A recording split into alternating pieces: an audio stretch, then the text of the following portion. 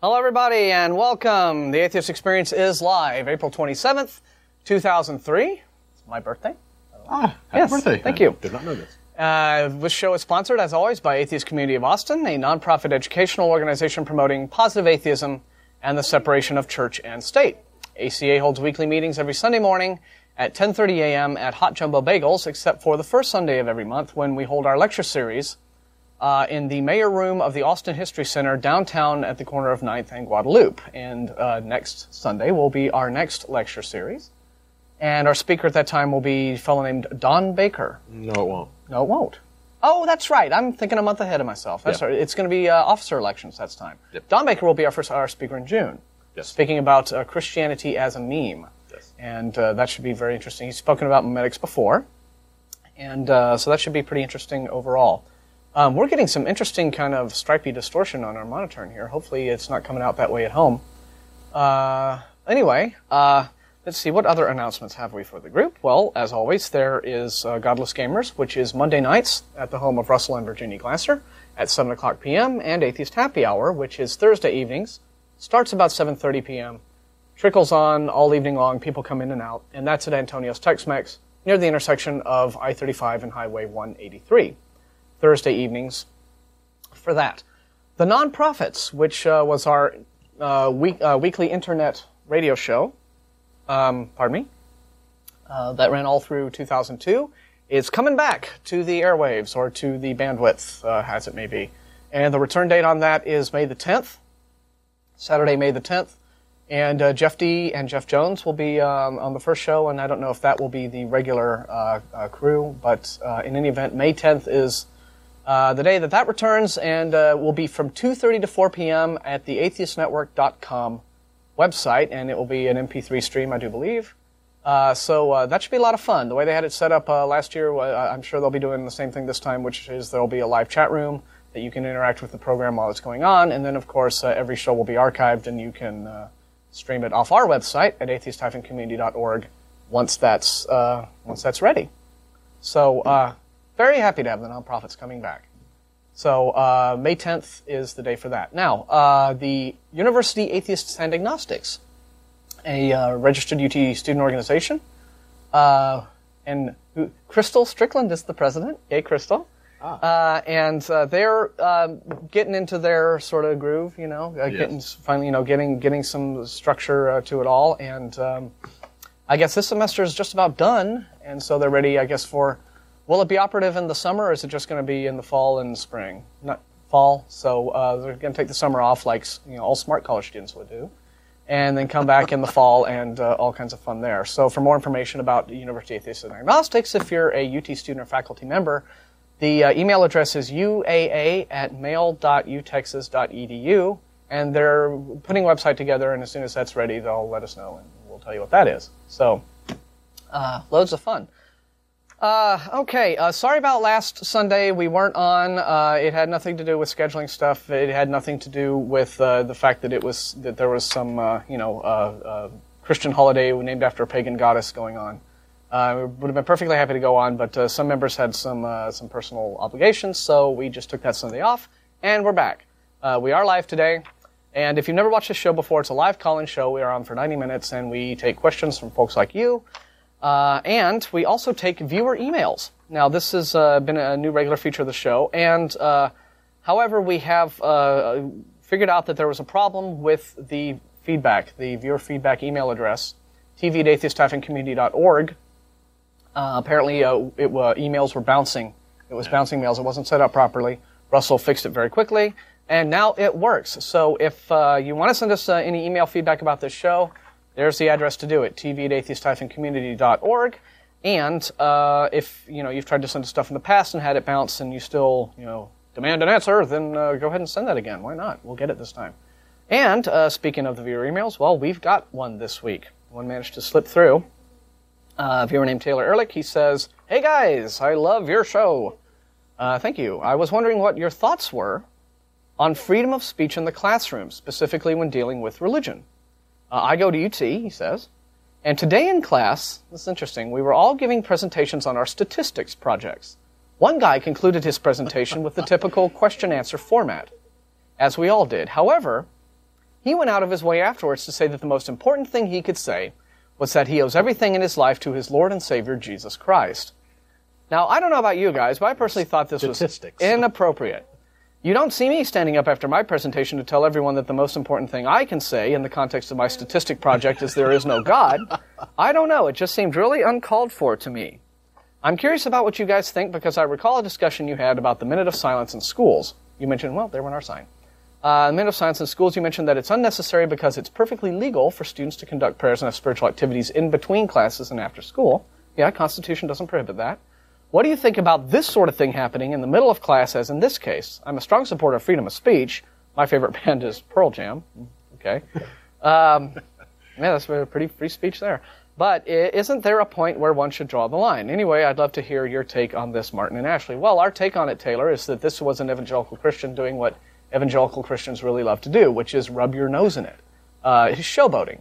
right? Yeah. You know, just this public course. display of piety. Look at me. Look how Christian I am. Aren't I great? Aren't I cool? And he wants a reaction. He wants a response. I mean, that's that's really what it is. Um, and I, Best you know, thing to do is probably ignore it. yeah, exactly. That's what I was thinking. You know, it's because what he if he gets a positive response from you know, then he gets to find other Christians like Exactly, himself, and then he, he feels gets- good that way. He gets pushed on to do it again. Yeah, and if The he next gets time he has the statistics project. and then and then if he gets a negative response, then he can uh, probably cause a big stink, like the the thing that happened recently at Texas Tech with Professor Dini. Yeah. not giving the uh, the uh, letter of recommendation to the creationist student. So the creationist student cries foul, says, "Oh, this is religious discrimination," and He I'm gets to going be a sue. hero for his faith. Although that has since blown over the whole uh, Texas Tech thing. Yeah. uh, the, gov- the government's backed off on that. Although I would point out, though, that he has the right to say that Oh, sure. at the end of his project. yeah, the first It's- the it's First kinda- Amendment does not pro- prohibit you from being a, a, a nuisance or an idiot. Exactly. It's it's kind of inappropriate, Uh-huh. especially given the topic. I mean, it, it's not something that really you should come out with. yeah. But he's perfectly legal. He has every right in the world to say it if he wants to. But I mean, but like, why does he think just, anyone point? in his statistic class would care? exactly. that he has this invisible friend that helps him out with everything he does. You know, what's it got to do with what they're all there in class for? Again, it's just it's showboating. Yeah. Uh, so, um, you know, I don't. Statistically speaking, there is no God. Uh, but anyway, uh, so that's what we think of that, Taylor, and thank you for watching the show and, and uh, being a fan and all that good stuff. Yay. Uh, hmm. So that's it for viewer emails, and if you have one uh, at the end of the show, uh, like I said, this is a live call-in show, and we get lots of calls. We never get around to everybody. There's usually people hanging on at the end, or sometimes people are shy to call, whatever. There's the address. Fire us off an email, and every week we'll pick the most interesting emails and we'll answer them live on the air. Okay? So thanks so much uh, for your viewing, and now it's over to Ashley for the news, isn't it? Okay. What's happening in the world on my birthday? All right. Commemorating and great parades and Yay. ticker tape stuff and, and all that. All right. Uh, first one. Now, you would typically assume that if the the people who do the reports on education in your state came to you and you were a senator and said, "Wow, your state is doing really, really well. You know, you're doing excellent," you would be happy with that. Not everybody. uh, Senator Mike Fair, who is in South Carolina, yeah, South Carolina. Uh, he is a little bit tick, ticked off right now. Is he? Yes, um, he is irritated that a study done for the Fordham's Foundation gave South Carolina an A for how well it teaches evolution. uh, he is challenging the premise of Darwin's widely accepted theory. He bases his argument, now get this one. He bases ar- his argument on the fact that no one was there when life began to make a scientific observation about it. Ah, So since, so since nobody was standing around this little pool and saw a fish jump out of it, then it's it, then it's not a scientific theory. It's pure speculation and religion. Uh, Fair wants science books in South Carolina public schools to have the following statement posted in, in them: The cause or causes of life are not scientifically verifiable. Therefore, empirical science cannot provide data about the beginning of life. Hogwash. yeah. Well, I mean, he doesn't understand about. Hello, what's that about? We're not taking calls yet. Okay, Uh, they're, they're going. They're playing. What's this button do in the control room? uh, yeah, I mean, he doesn't understand about. There's a, there's a, uh, a particular scientific te- technique of scientific uh, investigation that's called post-diction.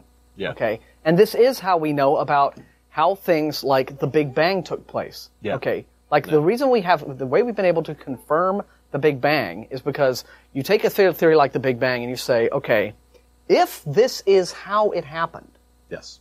if this is how it happened, what would you expect to see today Yes. as an indicator that this was what happened, right? I mean, everything leaves a trail. Yeah. Okay. And if you expected to, you would expect to see certain conditions, you know, A, B, C, D, present in the universe today, uh, if the universe is the result of this big quantum event, like the, the Big Bang, like massive Exactly. expansion. Okay. And as we examine the universe today, we are in fact finding those conditions. Yes. Okay, so this is how scientists can conclude, okay, that that's uh, that that's what happened as a result of that's what caused the universe to come into being. Now, how is it that we're able to conclude that life forms evolved? Well, you know, you're able to trace it back, Yes. you know, and so I We have think the science that, of genetics. So I think that the first thing this senator needs to do is he needs to enroll in junior high school Yeah. Apparently, and some take of a the few public fundamental schools- classes. Yeah, he needs to take some classes, some of these classes that are doing so well in evolution. Exactly. They're teaching these so that he'll know what the hell it's really all about before shooting off his mouth, uh, you know, with a bunch exactly, of and nonsense. sounding like a moron. yeah. His argument is that no one can prove scientifically how life began, which makes the question a matter of faith or philosophy. Darwin's theory that life evolved slowly over millions of years, he argues, is not science. Fair said his intention is not to inject other theories of origins into the public school curriculum or teach is a- religion in the schools, Which is a fat lie, but, you know. even though he believes Darwin theory is foolish and is a religious theor- belief in itself. Yeah. His goal, says, to stimulate discussion. Well, you And know, what was the last one? He said, "My intent is very simple: that the truth be taught in classroom. If there's ca- if they're calling yeah, something see, there you go. science, Right. I mean, eh, truth, uh, and if they're calling something science, they be able to back it up. That's Uh, what me. well, excuse me, moron, but the They stuff do have science. Yeah, it is backed up. That's why it's the prevailing scientific theory. Just because you don't like Idiot. it or don't understand it doesn't mean it's not real. okay. So Aye. go back to public school. Yeah. Get some of these students. You'll learn. Get some of these school students who know what the hell they're talking about. to you. Exactly. Gosh. Yeah, and for him to claim that he's not trying to push a religious agenda is, of course, you know. Oh, yeah. I mean, the only pe- people who have any objection to evolution are creationists, and creationists are religious. Yeah. You know, he he he perceives that there's something in there, something in the school curriculum that is threatening the religious indoctrination that he wants everyone in his state to have. Of course. So, sorry. you know? Okay. And now the next story. This one's in Florida. Um, a woman with bipolar disorder is suing her former boss for religious harassment, claiming he blamed her disorder on unconfessed sins and fired her because it was God's will. Uh, Subwick, which is the woman who was fired, w- who is a Christian, claims uh, the boss told her that the disorder resulted from Satan infiltrating her life. he advised her to pray daily with him, but she was fired when she sco- when she stopped the sessions. Uh, the boss was also sued in January by a former producer who alleged she was fired because she complained that the company put scriptures inside paycheck envelopes. So this is a guy who apparently has a history of doing some wacky religious things. You know, it's like they've just always got it. to be in your face about it. Yeah. It's like, you know, they just they have this uh, congenital inability to leave people alone, Yeah. you know? And bipolar disorder, it can't possibly be, you know, a chemical imbalance or genetic oh, or Oh, no, something no, like you're- that. you're It- possessed, you- right? Yeah, I mean, you just haven't gone to church enough. Yeah. The thing to do um, is find some, you know, pigs to drive your demons into and have them run off a cliff, you Exactly. know, like Jesus did. Yeah, that, that, that'll cure them much uh, quicker than any you know, drugs. What is wrong with our species? You know, it's not just worry. Yeah. And it's not going to stop anytime soon. Well, that's depressing. Thank you. Boy. Yeah. Uh, last story. Hmm. Okay. This is a woman in central Thailand. Uh, their son, who was 12 years old, died a couple years back um, in a car accident. At the funeral, they found a lizard, a monitor lizard, sitting underneath a picture of him, and it allegedly followed them home. They assume that this lizard is the reincarnation of their son. Now the lizard has died, Oh. and so they're having a big funeral for, For the the, lizard. lizard, for the monitor lizard. They have a picture of their son and the dead body of the lizard. Uh, the lizard was found lying under a, under a photograph of Sharon during his funeral in 2001 and reportedly followed the boy's parents to their home. So, Okay. Um, whoa. What, what can you say about that? Uh, reincarnation well, I guess you know. monitor lizard. I, I guess you know how nice for the lizard that he got this great send off, but uh, True. because otherwise he might just gotten eaten by some sort of you know. Although it does, well, who actually knows? It does say in here that they fed the lizard on yogurt and bread, I think. And if that's what they fed it on, that's why the lizard died. Probably, yeah. it's a rather insect poor diet there, isn't it? Yeah. exactly. So, so they Ah, probably killed the lizard. Okay, you know, now that's you could say that that kind of thing may be a little benign, and it's sort of, in in some ways it's a developing country. Of course. But you know what is depressing is when you get similar attitudes in a country like ours that is supposed to uh, be a little advanced, uh, scientifically and technologically advanced. We are a world superpower. you know, but uh, you know, the more the more scientifically advanced we become, the more there is this um, um, resistance and backlash uh, among uh, the religiously hysterical, like this foolish uh, senator. You know, you know what Yeah. is so incredibly arrogant about this, right? Is that uh, you know this is a guy who clearly doesn't know the rudiments of biology. okay? Exactly. And yet he is being so arrogant as to presume to sit there and lecture authoritatively, Yeah. like he's some world-class authority on the subject Yeah. that he can just declare. This isn't no science because it's got no evidence behind Yeah. it. Blah blah blah. When any first-year, you know, biology 101 student could sit him down and go, "Okay, look, here's the evidence." da da da da da da da da da. Yeah. Okay. You know, And not so- just that, he doesn't understand the basic principles Yeah. of science. Yeah. Yeah. Let alone, let alone, you know, evolution. Yeah, and, and we have found that. We have found in every instance, like when, when some creationist has called this program, Yeah. right, and tried to give his objections to it, it's very clear. This guy hasn't, you know, taken a biology class since junior high school. Exactly. Fish don't Just give birth to dogs. Yeah, just doesn't know. These are people who just don't want know what they're talking about. And like, Yeah. look, look, it's perfectly all right if you want to go through life ignorant. That's fine. Yeah. But it's extremely arrogant and presumptuous to then tr- presume to be some authority on some Yeah. subject that you're completely ignorant about and say, no, no, no, this isn't how this works. When obviously your motivation is religious in nature. You have a set of beliefs course. and a set of rules and a set of dogmas that you want people to stick with because you know they're good enough for you. Yeah. And so uh, that's what it, uh, and so it becomes the resistance becomes really all about that. But he's masquerading as if he really knows what he's talking about, and he, do- and he doesn't. Yeah. If you're going to argue against something effectively, Mm-hmm. you have to know what you're talking about. You have to read their material and learn things. And that gets brings us And to our people pal haven't done that. Dean James Kennedy. Now, uh, D. James Kennedy is um, just going to just aside. We'll go ahead and put that number up now for phone calls, live live call in show. So go uh, um, uh, call us up and we'll get those calls lined up. But I uh, recently there was some discussion on uh, the, our our uh, mailing list, internet mailing list about um, D. James Kennedy, who is the uh, pastor of Coral Ridge Presbyterian Church Yes. and he heads Coral Ridge Ministries, and this is out of Fort Lauderdale, Florida. And this is this guy's very much a mover and shaker in Christian fundamentalism today. He's got the ear of, of the White House, uh, and this is uh, so this is a guy who's held to be an authority in Christian fundamentalism. yes.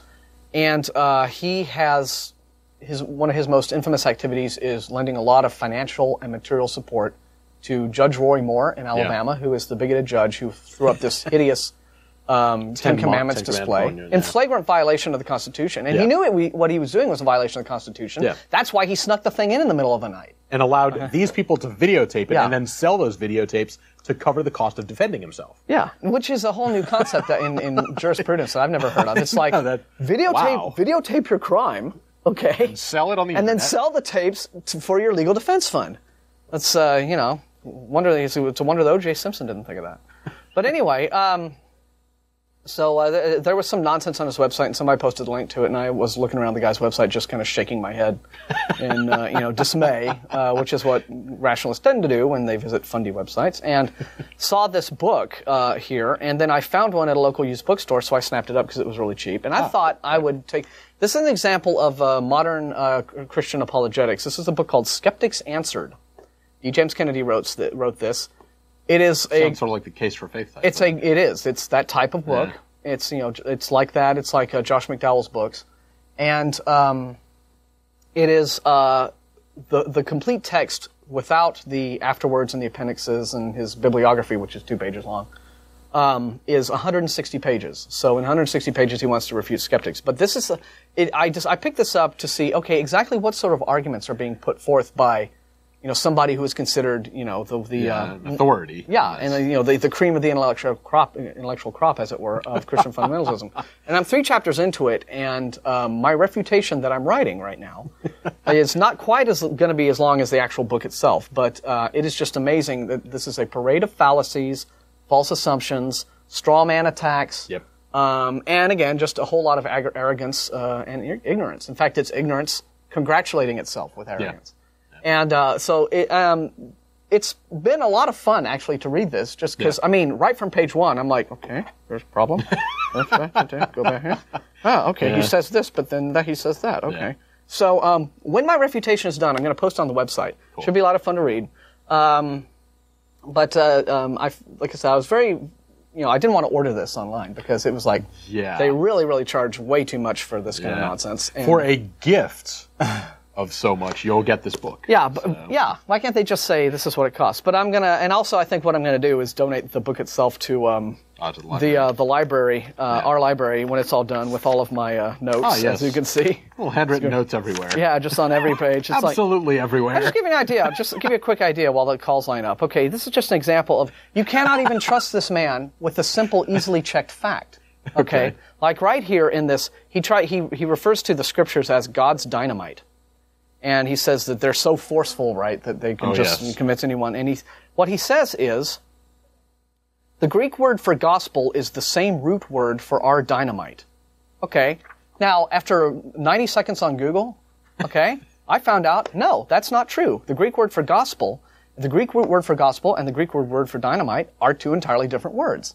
Okay, two entirely different Greek words. So, um, gospel is from the Old English Godspell, which means good news, which is a translation from a Latin, which is a further translation from a Greek, which is different. And um, dynamite, the root Greek word, is dynamis.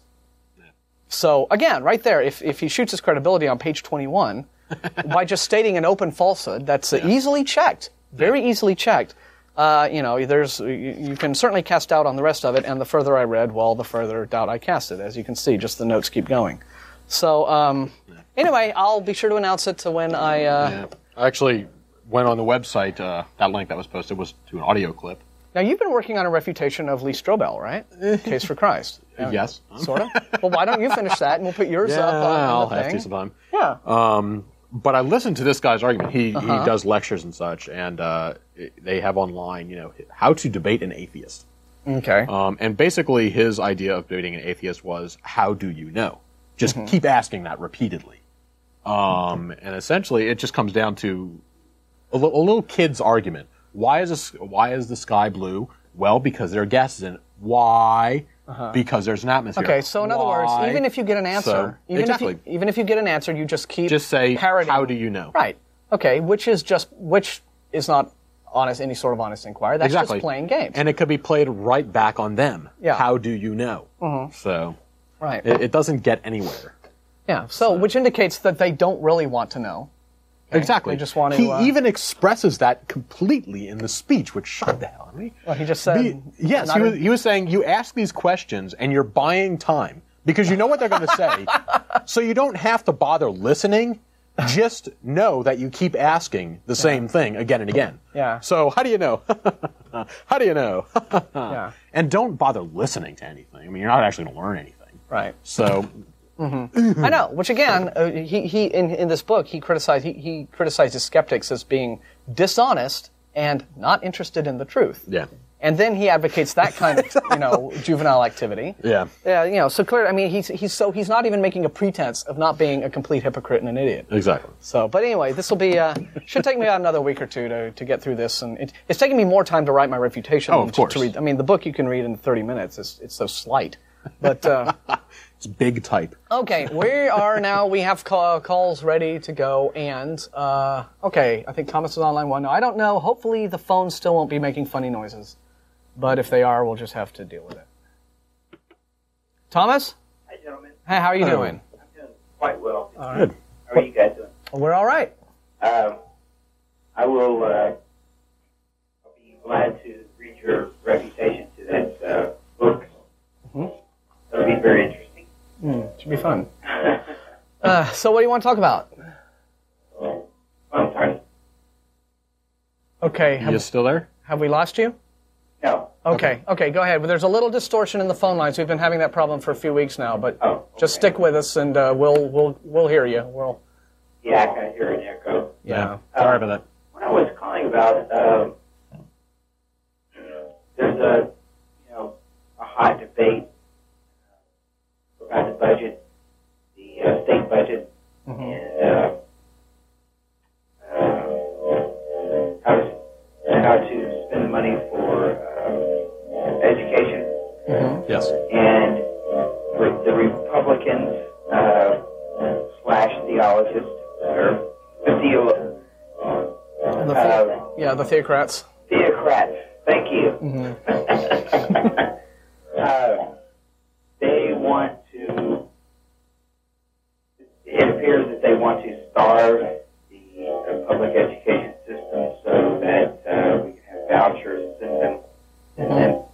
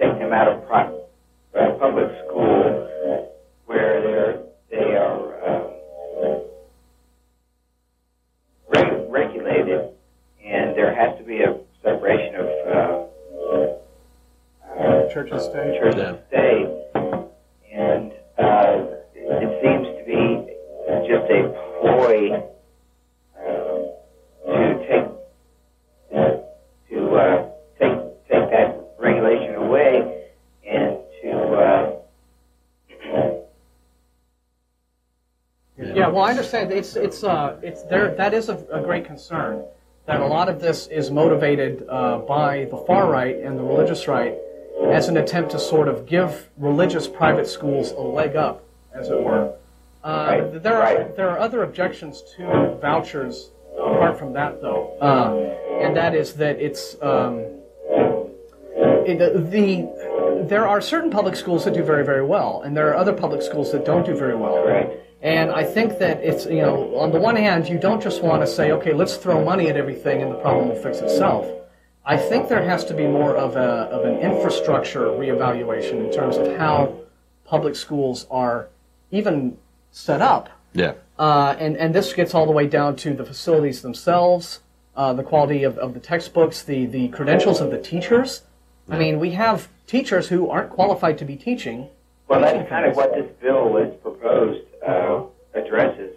Is that uh, the uh, teachers don't have to be qualified in there's any subject. They don't have to be educated. Um, it's very distressing. No, it's just that's nuts to me. I mean, that's just nuts. I it just makes no It sense. is nuts. But Yeah. when you have a, a legislature that has ours by their name, uh, that's what we get. And, uh, you know, it kind of ties into, uh, I forget the senator's name that came on and said that, you know, that uh, gays are equal to people that. Actually, that is not true. That is not true. I've looked into that one. He never said the word gay at all, ever. It was the columnist who wrote the article who put that in there in brackets.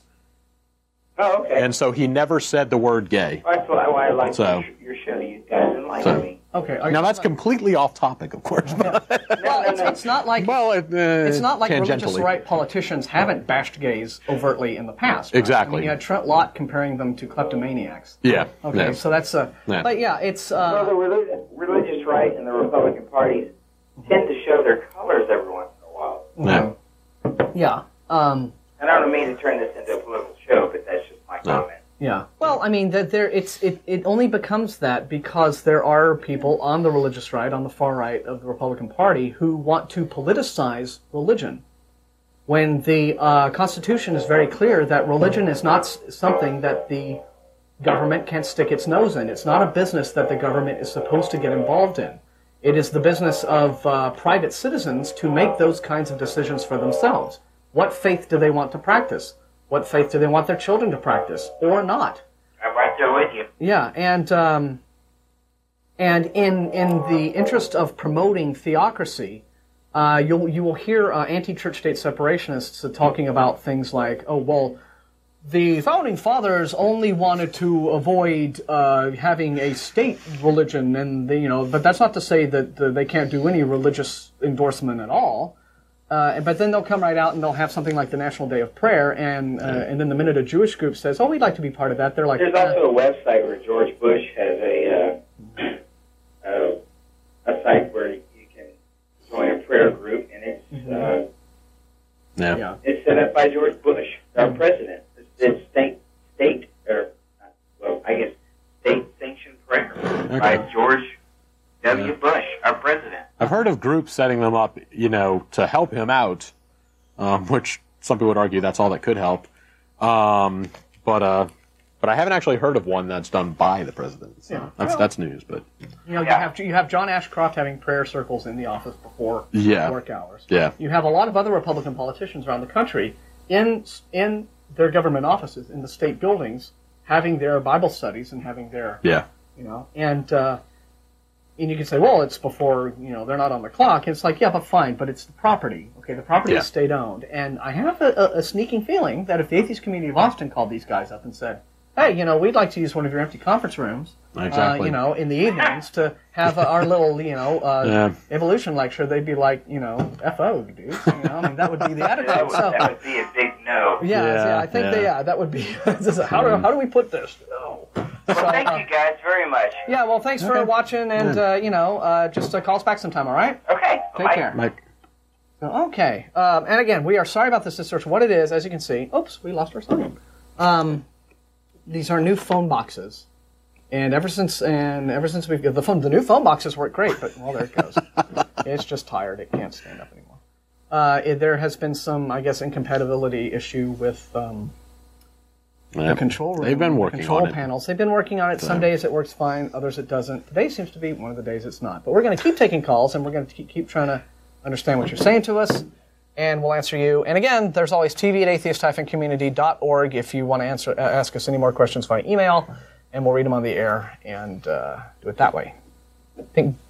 Do I, am I talking to Gerald or Jay? Jay on three. Okay. Yeah, you're on the air. Hello. Hey, How you doing?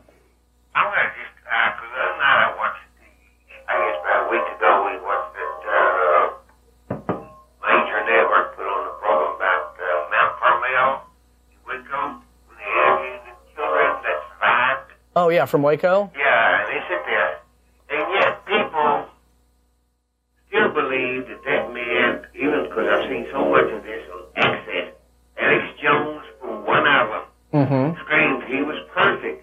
Well, my God, if he's having sex with a 10 year old kid and impregnating them, and this I know almost as a fact because there was somebody lived down away from where that supposedly compound was at up there in Waco. Uh huh.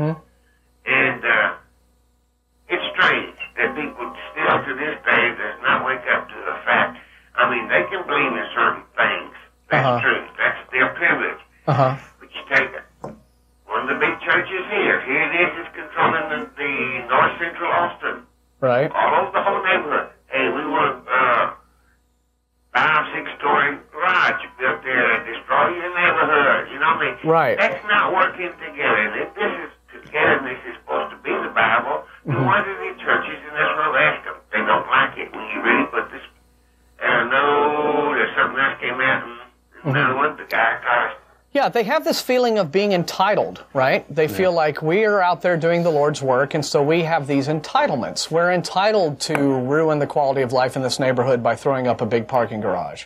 We are entitled to have our beliefs replace science education in the schools. We're entitled to this and entitled to that. They have this feeling of entitlement. And so, because of that, it is very hard to sort of confront them on a calm, rational level and explain to them, well, no, you're, you're wrong for this reason, that reason, and the other reason. And then going back to what you said earlier about how amazing it is that people could still believe that, you know, that, that David Koresh was Jesus Christ and still think that he was some special guy. Yeah, it is amazing. It never ceases to amaze me the extent of just the human willingness to believe things that aren't true, but if, if it fulfills some strange emotional need that they don't think they're getting fulfilled elsewhere in life, they, a person will attach themselves to something no matter how crazy it is. It could be in, just lunatic beyond, you know, the, the dreams of a mental patient, but but they'll they'll they'll uh, embrace it, and it it really you know you, you think you've heard it all and you haven't. It all goes back to how people can compartmentalize their life and their mind. As in, these are people who are perfectly rational during the day. If they believe that David Koresh was a god or Jesus or something like that, if if you take that belief and you take that lack of skepticism and lack of logical thinking and across their entire life, you would not trust them to tie their own shoes. Um, but somehow they can, you know, be perfectly rational people. They can go about their day-to-day life, no problem. They just have this one wacky belief off to the side that somehow protects itself. Yeah. And that's how most people are. You know, I mean, they believe these strange things, and but they can still be perfectly normal people and perfectly good and all that kind of stuff. It's it's strange how they just you know block this one second off, one section in their mind off from any rational, skeptical, logical thinking.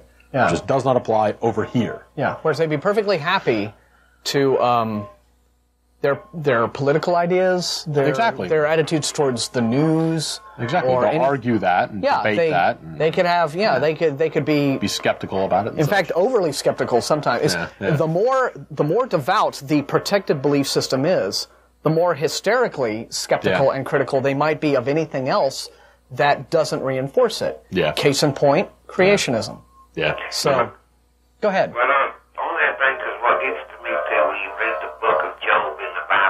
Bible, you gotta be the perfect Christian. If you do, then you're gonna go to the hereafter and all this stuff. Well, he was, according to the book of Job. Yeah. But yet, then look what happened to him. I mean, he was given a this. I don't know. Hey, Anyway. not to make sense, and to me, as far as what I'm really looking at, because I, I'm sorry, it sounds cold sometimes when they look at things. I know that there, I feel like in my own meditation, like, I'm an Indian. Now, Indian background. I feel like, yes, there is something that's strong out there, that's spiritual. To me, that is not like the Christian book, but there is something that I feel like that is greater in my life and I look at it as a form of a guide to me to make me go down and walk the mm-hmm. daily processes of life. Mm-hmm. And also because I know I'm not supposed to out murder someone through all this and that and everything. But you see all these dudes, oh, I went there and found God today, but yeah. Within Yeah. so hours, they could kill somebody and rape them or do whatever they've done. Yeah. Well, you know, we, we know that a person shouldn't go out and live a violent life of crime either. And uh, for us, some sort of divine belief is not necessary to uh, to understand that concept. It's enough uh, that you know the rational basis for cooperating with your fellow man. So, uh, in any event, but listen, uh, the distortion is getting really, really bad. We're, we, I enjoy talking to you, but Okay. I'm afraid that we're. I'm going to try to see if they can fix this because this is nuts. Uh, it's, and there's got to be It only some. comes on this number.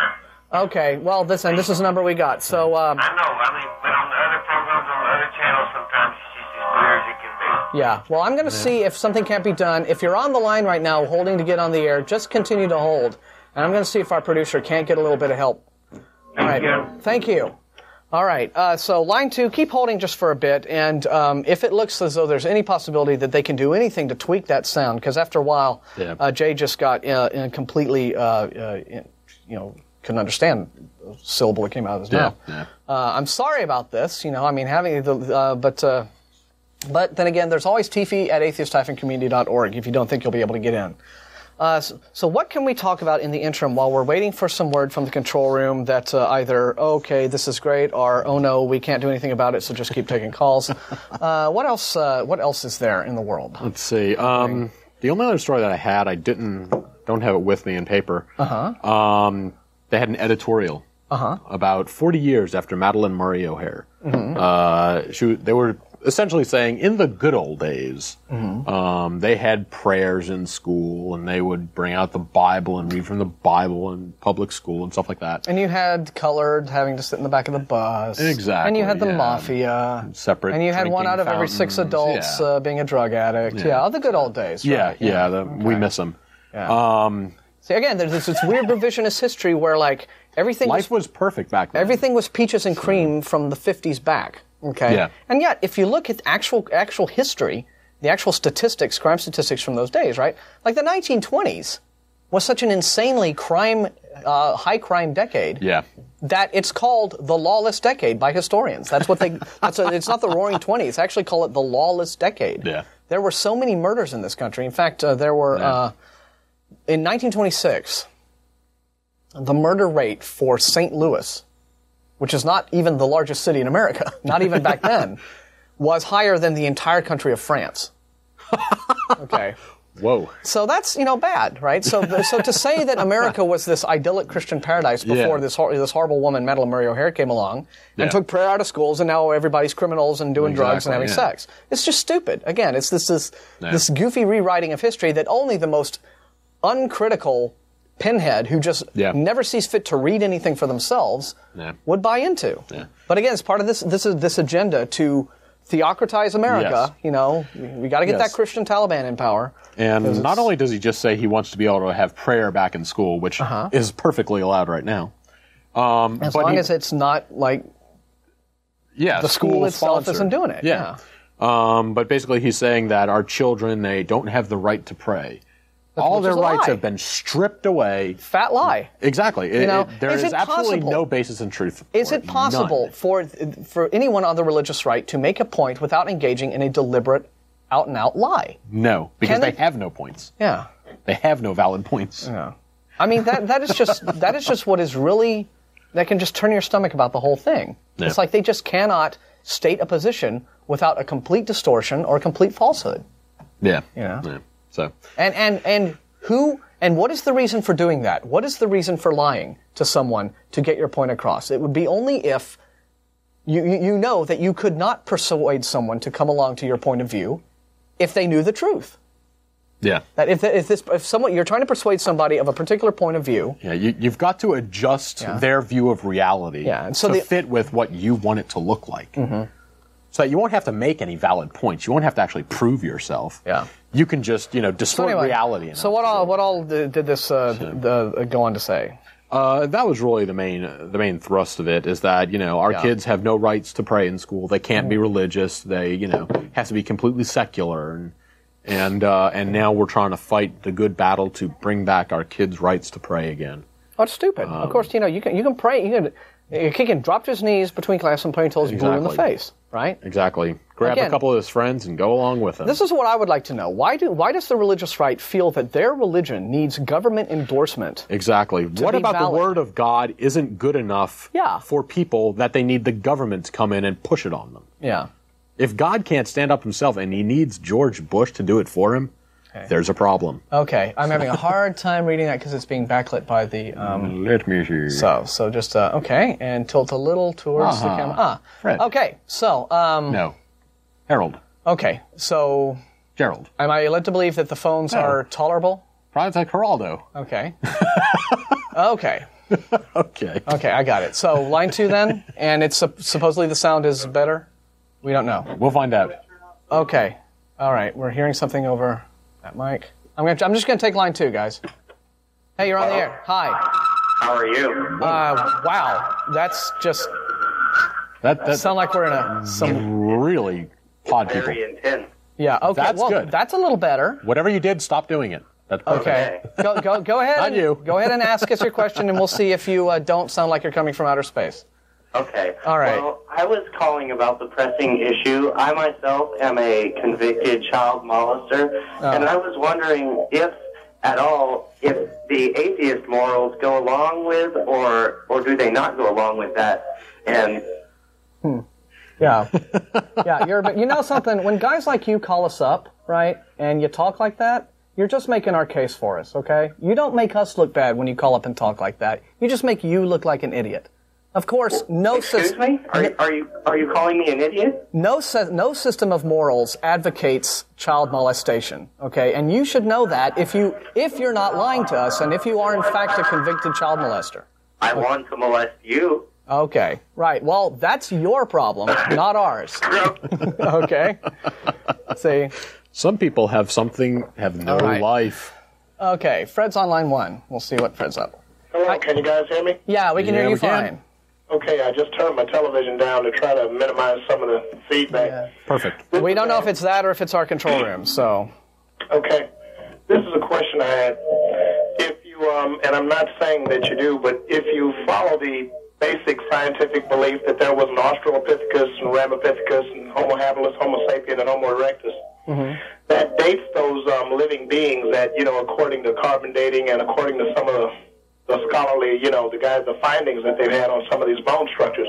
well, there are there are other forms of dating than carbon. Carbon will only take you back fifty thousand years, and then before Okay. then you go into radioisometric dating and other forms of of determining. Potassium, argon, Yeah, like that. yeah, determining how you find out how old stuff is. All right. Yeah. Well. The, okay. I'm glad. That's the kind of information I would need. The um, Yeah. system, whatever system it was, probably what you just spoke of that they were using, identified these living beings as being here somewhere around one and a half million years ago, or even further back. Mm-hmm. And these were some, you know, what's been classified as humanoids, or you know, or at least something that is in the same primate family as we're in. Well, they'd probably be hominids or whatever, early primates or Right. something. Like we're not we're not like biologists, and we're not paleontologists, and Maybe ought to help, but what what is the actual question here? yeah. the question is, how would now I've read a lot of Ayn Rand, and I've read, read a lot of Leonard Peikoff and some of the objectivist writers of our age, and of you know a little bit back, and to accept that there's not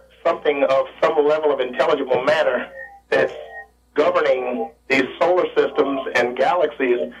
I mean, if for no other reason, I mean, if for no better question, I'd have to ask, how did man amass the knowledge that he's amassed over a 6,000 year period of time? If they're saying that humans have been on Earth, let's just take, for example, a million years.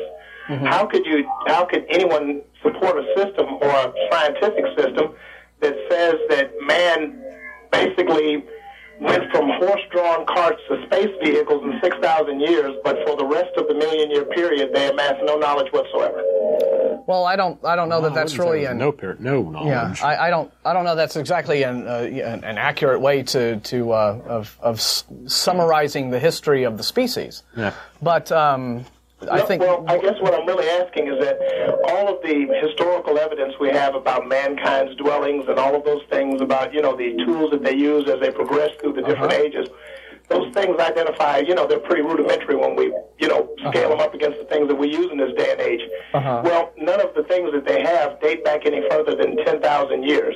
So if these hum- if these beings that we're finding these bone bone remains from, these fossil remains from, if these things were in fact humans, then why weren't they progressing in knowledge the way humans of this millennium are? Well, I mean, that the uh, we've had uh, about two weeks ago on the show, we had a couple of conversations about this. It was the uh, the development and the evolution of intelligence, not just biolo- biological evolution, but how we fit into our niche of you know the, the the the type of intelligence that we have, which is we're at least self-aware. You know, we're aware of our environment, and we have the ability to affect our environment deliberately.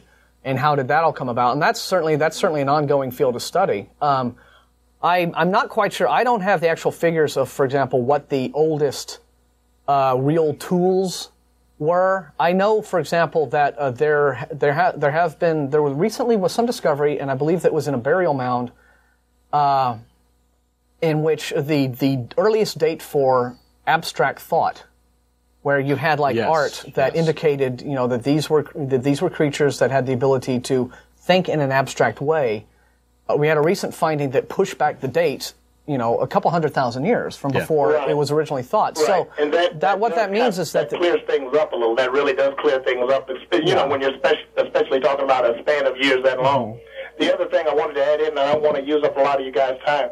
Um, it's just as offensive to me when I hear callers like the last caller who, you know, you know, calls and just really, really tries to ridicule the program because I really enjoy Mm-hmm. open forums like this where people, you know, who spend a little time reading or spend a little time watching documentaries Mm-hmm. can kind of, you know, throw their thoughts up against each other. yeah. I'm from well, some people, right. Some the people. very- So I was just going to say, some people's uh, response to uh, hearing any point of view that is contrary to their beliefs is to go on the defensive and to just attack.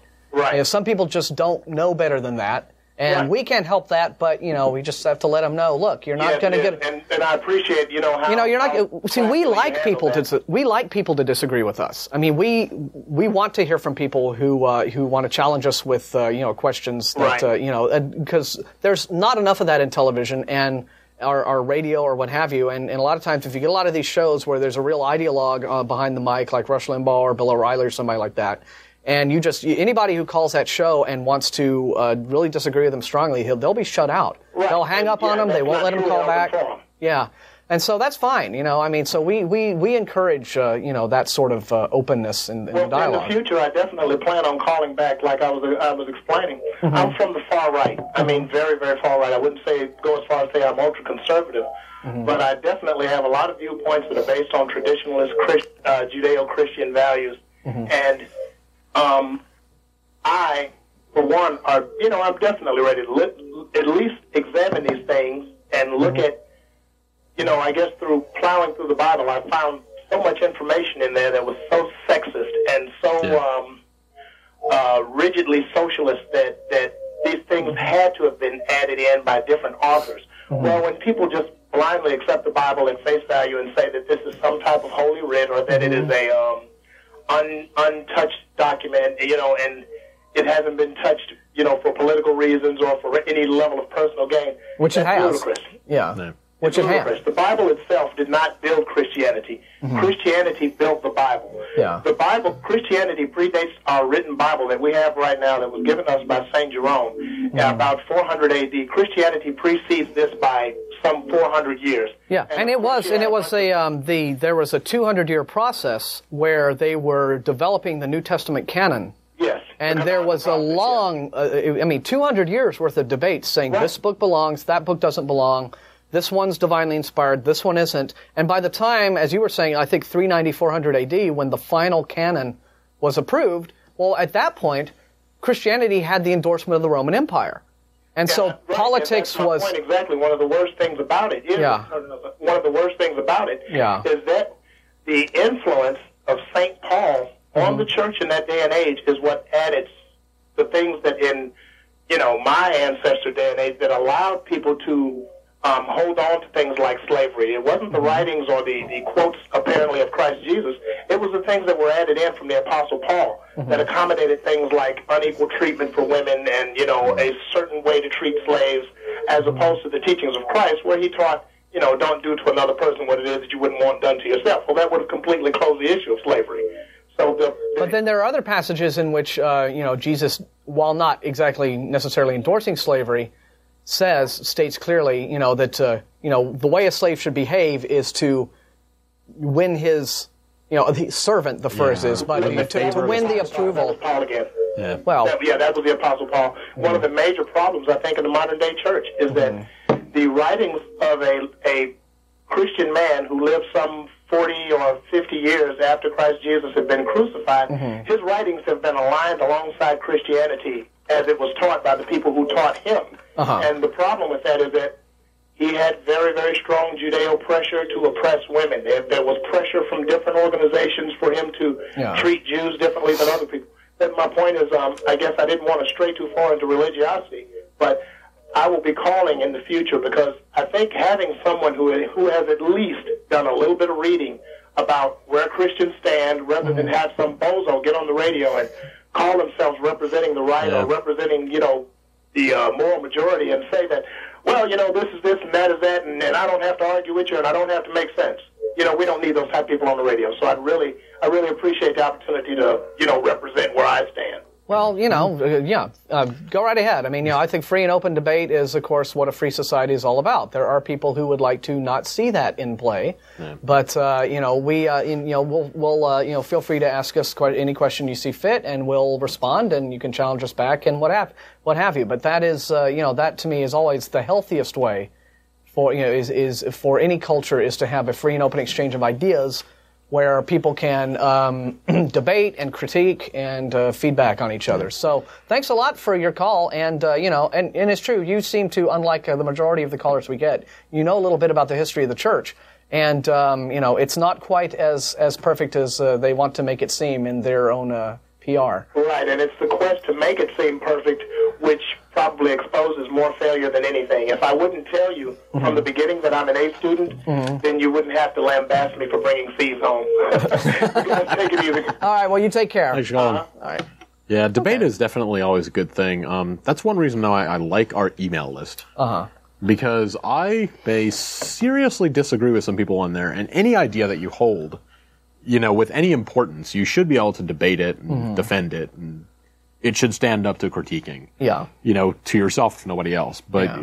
you shouldn't just say, you know, I believe such and such, and therefore I don't want to discuss it. I don't want to hear anything else Let me just read you a quick quote. Because is- you know I'm scared that if you if you argue with me, Mm-hmm. I may stop believing it. okay, this is a If man. you, if you fear that, that's not good.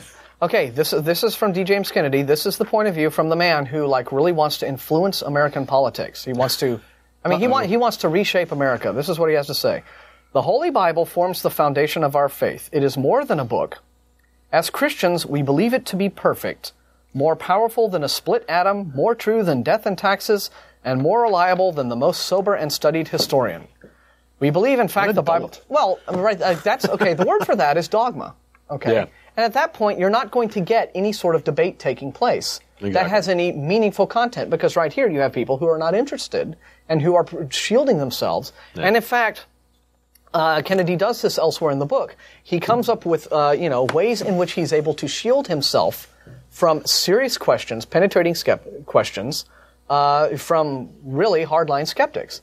Because at the beginning, he just he, he he comes up with this way of saying that basically, if a skeptic is a pain in the ass, and he keeps asking you a bunch of questions that you don't want to answer, then well, he's not an honest skeptic, so you can dismiss him. He's just a guy who's, you know, he's just got a he's just The ones with the good arguments, Yeah, leave them alone. yeah, he just wants to give. They just want to give you a hard time and play mind Yeah, games with you. That's what he calls it. He says mind games. So anytime he asks D. James Kennedy a Well, they're question, he doesn't- valid. He doesn't want to answer. it's a mind game. So that's that's the thought process that's going on there. Now, who do we have? Laura is on too. Uh, okay, well we'll see what you have to say, and that phone number to call us live right there on your screen. We still have a half an hour to go, so go ahead and get those calls in. Hi, you're on the air. Hi. Hey. Ah, hello. Yes. Um, I just wanted to say that um, as far as religion goes, I mean, I've been an atheist agnostic for eight, nine, ten years. I don't know. Um, I was really, I'm only 21 now, and I started when I was like 10, and really haven't changed my mind since then. Um, I've gone from agnostic, atheist, liberal to Republican to more libertarian. So um, just moved around, and you know, uh, the longest time, I really had a, almost just a hatred towards the just the general ignorance um, in in religion and just the hypocrisy that you mm-hmm. see all the time. Um, but then what I learned that I think is so important and to realize in any debate, I, I first of all I've noticed so many people is that they forget in the social sciences mm-hmm. nothing is a hundred percent. Nothing. So mm-hmm. every time you all, whenever you say generally or most of the time or, or any kind of those statements, they automatically assume you're saying, oh, but you're talking about everyone. Yeah. Yeah. And uh, then you always have to re-clarify in every single debate, and it's so annoying Yeah. that people always make that ridiculous assumption Yeah. all the time. There are a few in our group actually that that have the idea that there is no God. Not the not the idea that I don't believe there's a God or I really really really doubt it, but there is none. Period. One hundred percent. Well, now, hang on. Uh, there- There's one member of our group who has made an argument. Yeah. Okay, one of, in fact, I'd like to, I want to get him on the show here in a couple of weeks because he's made it. He has created an interesting argument for strong Yes. atheism, Okay, so that's which a is super, being super- able to say just flat out, in, in not just I don't believe in God, but there isn't one, and it all gets period. down to definitions. And he makes the interesting point that um, you know uh, the way in which believers define their God is usually so. Even if you're talking about a member of a, an established faith, Yeah. is so uh, unique unto them, their own experience. It's very individualistic. They have this idea of some sort of divine being who has some sort of deliberate uh, purpose in mind and for them, and it does this, that, and the other thing. And as you start sounding them out to really, really become clear on the way they define their God, they're more or less defining a being that can't possibly exist in, for anyone but themselves Yeah. in a certain way. Yeah. You know, there's no real general meaning that you can find that makes every single believer happy. You know, in terms of what God is. Yeah. And at that point, you know, if you just end up having a bunch of people saying, like our previous caller, um, the gentleman uh, who, um, I, th- I think two callers previous, uh, the guy who uh, said that, well, you know, he, he, I think he said he had some Native American beliefs about some higher power thing. Okay. That, and that was what gave him guidance. But, you know, by its very nature, that sort of claim just isn't verifiable. And so, if it's not verifiable, if there's no real way you can land a, a, a solid definition of it, that can say, oh yes, well this can be this can apply in most circumstances, and it can be verified independently. Well, then, what's really the point of even talking about? All you've got is a person saying, "There's something in my life that I believe in that makes me feel good." Yeah. And beyond that, the the the you know God doesn't have seem to have much substance, Yeah. other than it's this in, ingredient in a person's life that they attach everything that is good in their lives Yeah. you know that they they attach that meaning to and and but to claim that it's it's it's, it's any sort of an independent entity um, you know like this cup or this table is is much more problematic Yeah. you know so in that regard you probably could you know you, you could mount an interesting defense for the argument that you know, for example, you can have some all-powerful divine, uh, some deity creating universes, and still, and, and that deity could be something of an idiot, you know, not or something of a tyrant, or something of a really, really bad being. That wouldn't be a god in terms of this is the being whose uh, outlook on life and whose philosophy and whose uh, moral codes would be something that I would even care to live by or worship or what have you. I mean, if you had, go- if you, if if we found out that this universe was all an experiment from an alternate universe with a bunch of highly advanced aliens, well, that would be neat. But would we worship them? Yeah. Would we call them gods? I mean, what's the difference between a god and a highly super advanced space alien who does stuff that we can't comprehend? Yeah. except how you decide you feel about him. So isn't God really all attached? You know, uh, isn't the concept of God attached to the individual feelings of the believer in so many ways? Well, I believe that in so many ways. Religion is just yet another institution of man. It's, it's created by man. No. And Yeah. like so many other things, like government, like our invention, it has good sides and it has bad sides. I mean, generally speaking, I believe in the wisdom of the Bible, but I don't believe really in God or the dogma or the all the little ceremony stuff that's involved in it. You know, um, Yeah. But even going back to that, I believe in the wisdom that is in about this much of the Bible. right, exactly. I mean, Yeah. The rest of this is kind of fluff, Yeah. scary fluff. Proverbs. Yeah. uh, and, that, and that's where, where it all is. And that, that's not one page, it's not three pages, but other than, than that, you know, the things like, you know, don't be a lazy slob and treat people with respect. Those things that you Yeah. can, it's, I've made this argument before, is, well, it's kind of an argument on, um, is the golden rule treat people as you- as you would have yourself treated? Is that common sense speaking or is that Jesus speaking? You can have that same attitude and not believe in God. And so many religious people feel like, well, Jesus, if you don't believe in God, you're not a moral person. Yeah. Well, of course, you know, Conf- Confucius is is quoted as saying something almost identical to the Golden Rule 500 years before Jesus. Right. So, you know, in a sense, it's No real principle in the Bible is new to the Bible. yeah. Essentially, they're all from previous, you know, don't steal, don't kill, Yeah. You know, you're going to find those in things well before the Bible ever came along. Yeah, so- I mean there there are cultural norms that uh, that developed as a result of hmm, gee, how do we make a civilization that can survive and not self-destruct? Well, Mm-hmm. Yeah. one way is cooperation, uh, and uh, you know, and that's how things work within civilizations. And uh, I'm reading another uh, interesting book right now. It's called The Bible Unearthed, which talks specifically about the development of the early Bible and how it pertains to the situation in uh, the kingdom of Judah which is where I think most of the uh, the text of the Old Testament was set down um, in about the seventh century BCE, and uh, it, it does have a lot to do with the reason it all of these. There are a lot of oral traditions, and a lot of it is history, and a lot of it is also just um, you know, cultural myths and stories and oral traditions. And this was all set down at a specific time in the history of the Israelite people as a way of okay. I mean, you find out that national myths, as it were, like uh, you know something like the Odyssey or the Iliad or what have you, they always tend to come about, you know, Gilgamesh, at a certain point in a civilization's development, and that's usually when it's like, okay, we've got kind of a loosely knit culture going, and we want to really tie this all together. We want to give our people, the group of people, you know, the, we are, we want, we want an identity. We want a cultural identity. We want a political and a geographical identity Yeah. and we want to from that then you know take that as our basis and then we'll move forward from there and this is so and and the and the early texts of the the old testament you know you see at this at you know archaeological some some archaeological findings and evidence of these uh, early days of uh, the king, in the kingdom of judah which is where Jerusalem, Jerusalem, not Jerusalem, Jerusalem was, and then uh, the kingdom of Israel, which was north, yeah.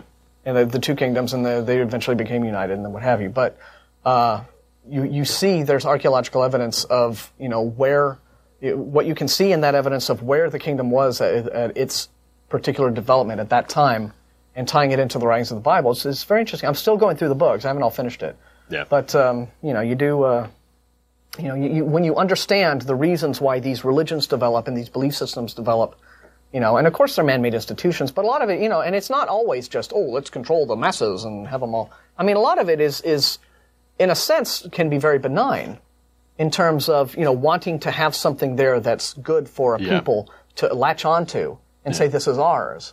You know, and you know, and especially the Old Testament. This is all about the Jews and specifically their development of their nation and their relationship to their God. Yeah. You know, and, and, and the Bible and the, the first setting down of the text of the Bible was the attempt to really put that down and have it permanently, uh, you know, codified.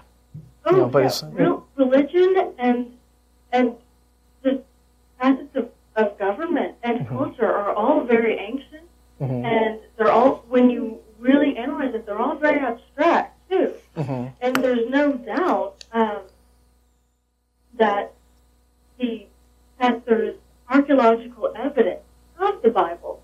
There's lots of it. There's the Dead Sea Scrolls. There's a museum. I can't think of the name, but it has lots and lots of proof that these writers, these people, actually existed. Mm-hmm. There's no doubt in my mind about that. Yeah, there, I mean, there lot, there's a lot of uh, archaeology that does lend weight to uh, a lot of the Old Testament um, uh, events, and some of the Old Testament events, and some of the characters in the Old Testament being actual historical people. But then there's a lot that you cannot be confirmed with archaeology, and so it's a matter of sifting through what is legend and what is actual history. Um, and and it's it's only very recently that real serious archaeology has been uh, applied to the problem of let's get down to the past, you know, the, the ancient history of these people, and really find out what led to the creation of the Bible, led to uh, the writing of it, uh, um, what inspired the stories that are in it, what was taken from other cultures, what was not, you know, what is unique uh, to these people, and what have you.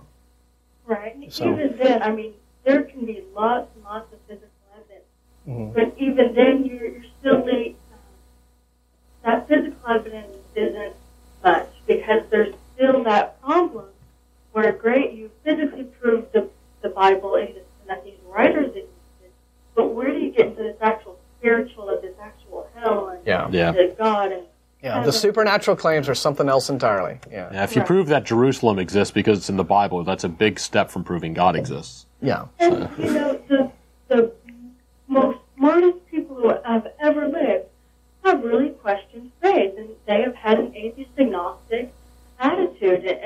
starting with with Isaac Newton, not starting with him, but he was certainly one of the most famous.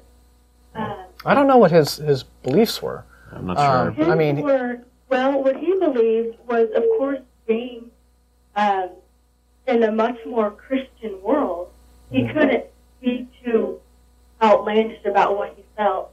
Mm-hmm. But just through his his studies and being scientific minded, it's very hard to be scientific minded and to believe in God. Honestly, in my Yeah. opinion, because of the whole evolution. Well, you have to do a lot of rationalizing. It would seem. Um, but yeah, no, it's all. Um, But anyway, he he just felt that um, he felt was one of the first people that felt that God existed, but he wasn't this involved God that Christians made him out to be. Was, oh, so early, an early deist or what have right. you. So Yeah. the first one to have this almost attitude of God not existing. Yeah. Yeah. I know it was uh, that was certainly a heresy back then. it's a, not a not a not a pleasant uh, uh, road to go down uh, in that day and age. But um, wow, that's well, you know, um, you know, we have uh, you know for all unbelievers, you know, uh, in in the just in the audience, just letting you know about uh, again our bagel shop meetings, our Sunday mornings at ten thirty. If you uh, want to come down and meet more unbelievers like yourself, that's sort of free to everyone. And um, yeah, it's really interesting. You sound like you've certainly read up on a lot of this stuff. Thank you. All right. Yeah, and uh, call us back anytime, okay? Okay. thanks for taking my call. Hey, thank Thanks you. for calling. Take care. Bye.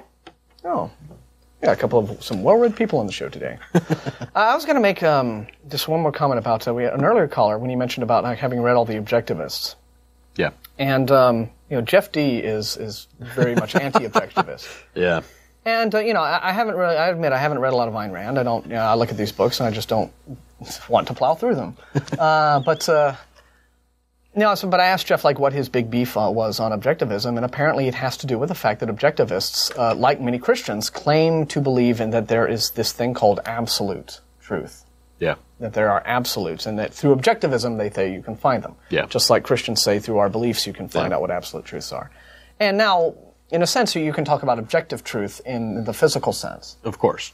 But in terms of your philosophy or uh, like moral absolutes, things like that, you're getting into a much stickier, grayer area. Yeah. Where I you know, where I just don't think no that you can claim you can you can latch onto philosophy and say this is what gives me all the answers and I don't have to look at anything else. Yeah. I think the minute you do that, you're engaging in dogma. Yes. And you're not really uh, you know uh, being a critical thinker. And see, that to me is much more important. So, so in that sense, yeah, you could probably get a lot of uh, um, people in the objectivist community who reject religion who are atheist. And uh, in fact, I think Ayn Rand was atheist. But she essentially replaced God with herself, right? I mean, she could be the. But Then proto- again, there's also a lot of objectivist philosophy that I do agree with. I, I haven't I read like- into it all that I much. I like the idea of you know But- always use your reason to you know as your Yeah. judge in life, which is good common sense advice. Yeah. But you know how you then tie that in with an idea of well, but then objectivists have their you know a handle on what's absolutely true and real. Yeah, it's a bit questionable there. So uh, I think you know obviously the reason is the best guide you've got. You know, just being able to think clearly and critically is the best guide you've got. You know, it's the best tool at your disposal. Not to say everyone knows how to use it properly. You know, even even people who do know how to use it very well can make mistakes. Yeah. We're all fallible. You know. Of course. I think that there is, is definitely a desire, and you see this in some religions, but uh, and, and I think you see it definitely in Christianity and a lot of mainstream religions with their more ardent followers. But I think you also see it in philosophies like objectivism. Is you get these people who really, really want to be infallible, Yeah. and they want to be. Um, I mean, they they they want they have this need to just think that they know everything.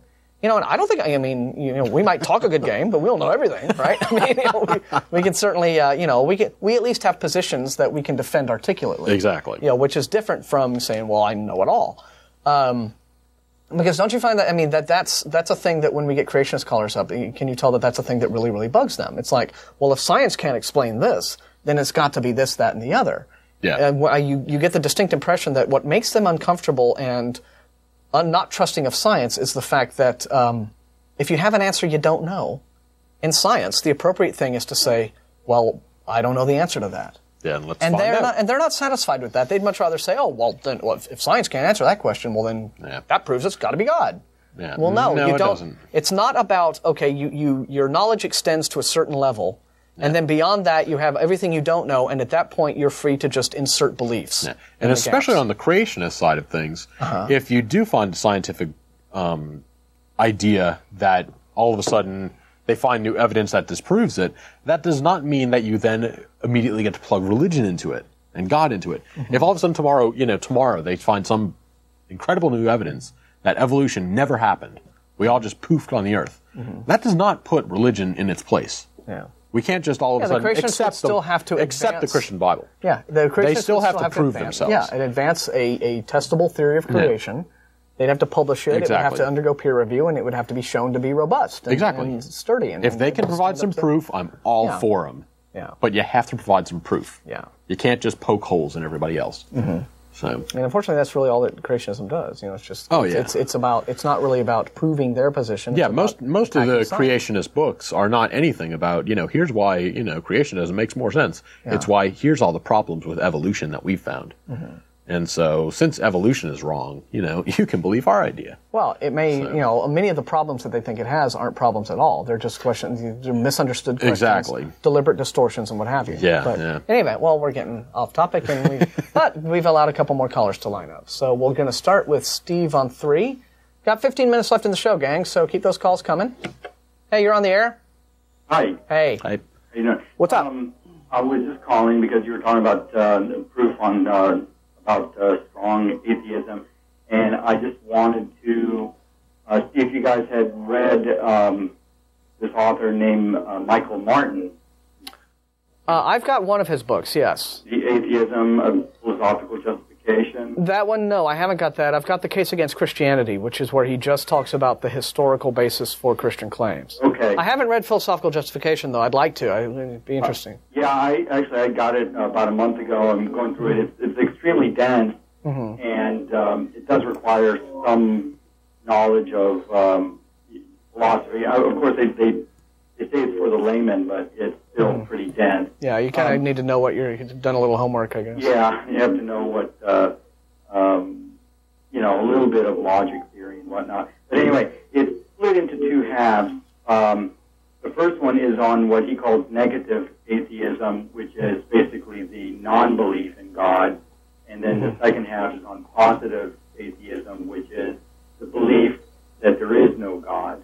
Mhm. Uh, and so, you're interested in a lot of the uh, proofs, you know, so to speak, or let's just say arguments about uh, positive atheism, it's a really great book.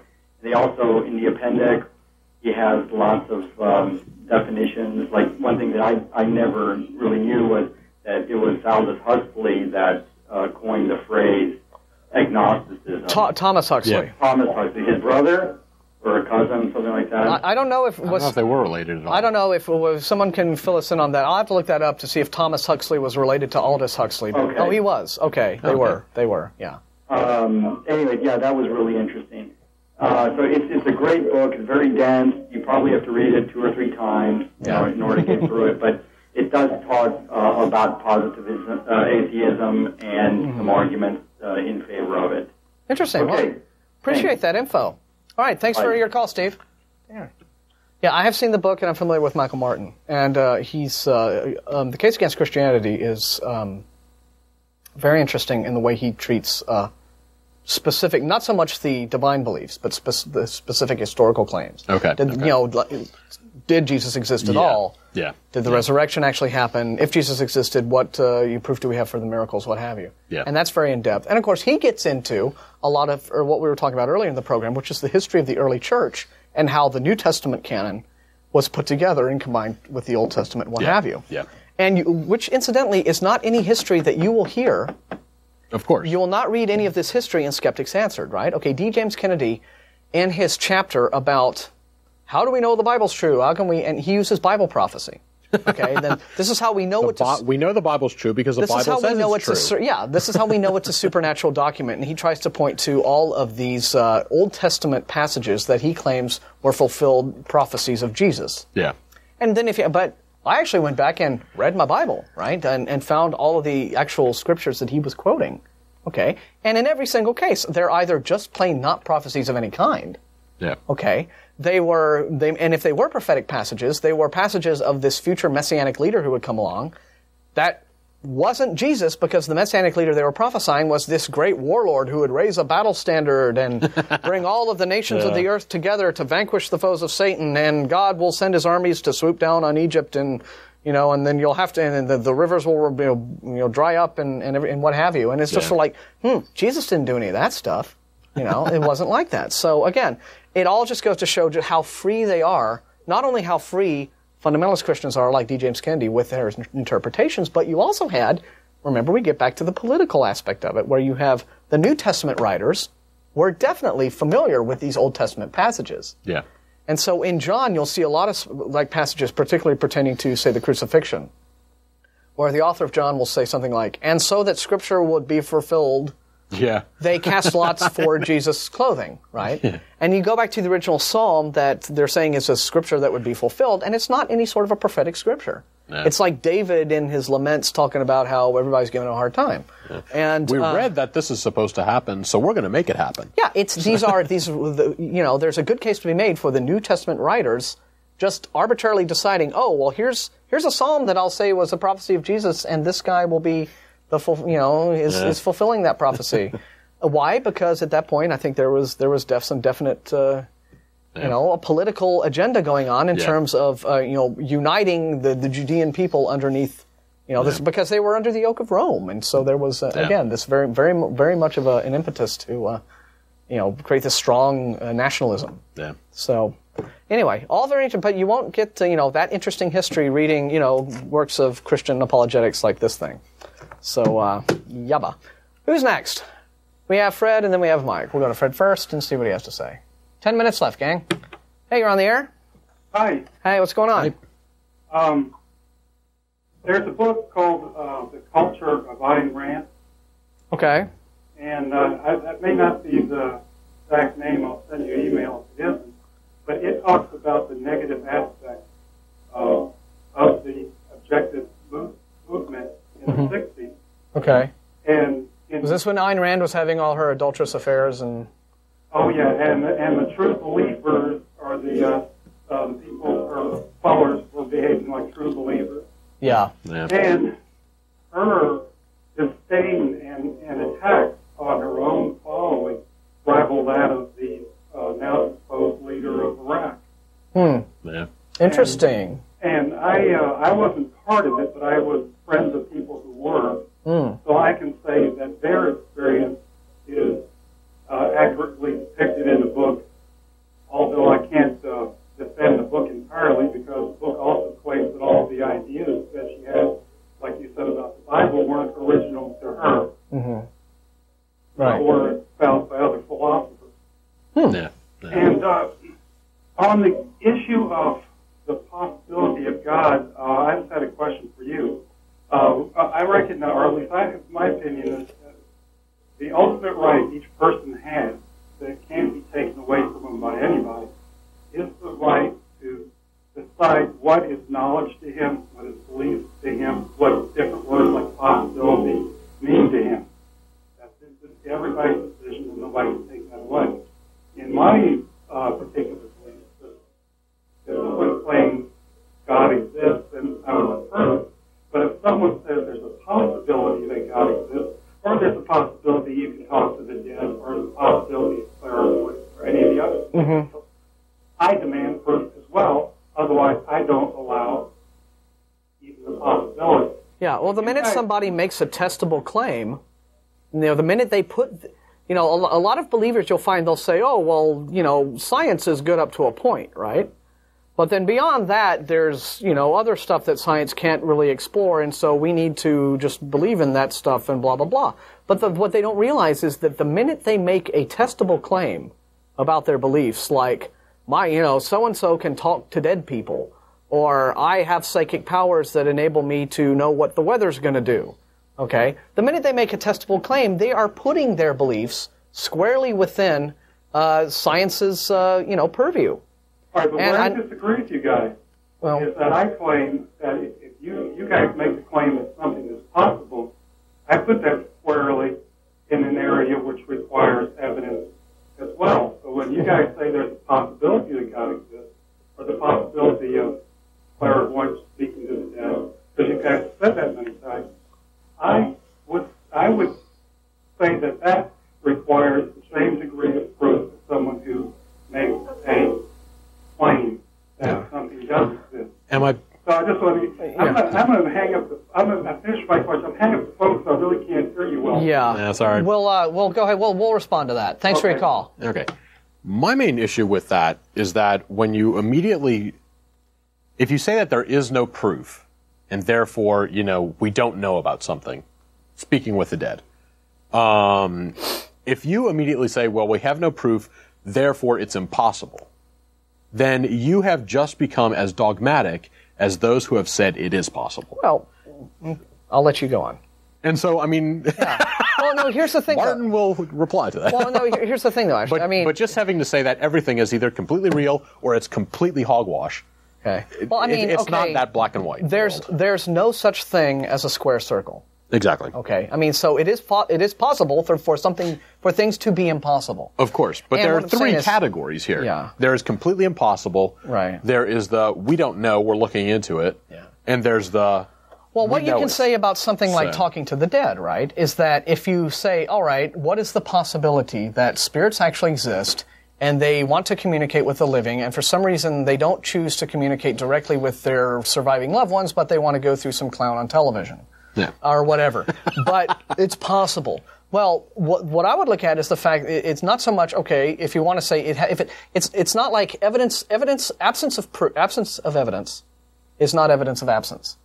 yes. Okay, but absence of evidence isn't proof either. Of course. Yeah. So at the same time, you know, the the important thing is if you look at all the evidence that is available for people who make psychic claims, okay, or people who make talk to the dead claims or what have you, and none of that evidence is supporting their claim that they are in fact talking to dead things or seeing ghosts or taking rides on the back of the Loch Ness monster or what have you like that. If none of the available evidence that we've gotten so far is shoring up those claims, then uh, if if you don't want to say then it's just an out and out impossible claim, you could at least say that the probability is so right now right down there near nil that it's not even a thing worth discussing the possibility of. Exactly. And if the caller was saying that due to all the evidence that we have uh, acquired, knowledge, logic, whatever, that, you know, we can't have a God based on all of that, then that's a debatable point. Well, anybody can have But simply, yeah. but simply the statement that God exists. Yeah. Now, without going into the definitions and the logical arguments pro and for and stuff like that, Mm-hmm. um, I, I don't think you can just immediately say it's complete hogwash. Well, Impossible. like I said, any, if someone I- I if someone so. chooses to worship the sun and call the sun God, exactly. then God exists. For the, I'll be able to, I'll be happy to point to the sun and say that guy's God exists. I don't call it a, but I don't call it God. It doesn't match what I think. Yeah. Like, this could probably be getting back to The Paul Wilson's definitions point. part, so yeah. we're going to try to take one more caller at the end. It's Mike on two, and then uh, we only have about a minute. So one quick question for us, Mike, and then uh, we'll try to answer you. Hey, hi guys. Thanks for holding. uh, thanks for uh, taking my call. Sure. Uh, I don't know if we have time to get into this again, but I wanted to go back to your earlier point. Um, um, I have my TV turned down, so That's fine. Okay. It's it's the con- it's the the setup here. It's all messed up. Okay. Um, um, I Really quickly. to your earlier point about, um, I think, objectivism and Mm-hmm. possibly relativism with respect to moral code. Uh huh. And um, it, it, I'm a Christian, and, Uh-huh. and whether or not we agree to, to disagree, on, you know, on on the, on the values set aside in, in Christianity, um, I, I have an atheist friend, and often we, we talk about. Um, in in absence of, uh, of some absolute written down somewhere, as an atheist, How do we do it? yeah, We'll start. We'll start with that next Sunday. How about? Okay. Okay. Well, but we're all done for today. We're out of time. And thanks a lot. Okay. Thank you. Wow. And if you want a preview to it, there's always our fact page. There is a fact page there. Yeah. We are really sorry again about the phone sound. It's been doing this for weeks, and it's not your TV. We don't know what it is.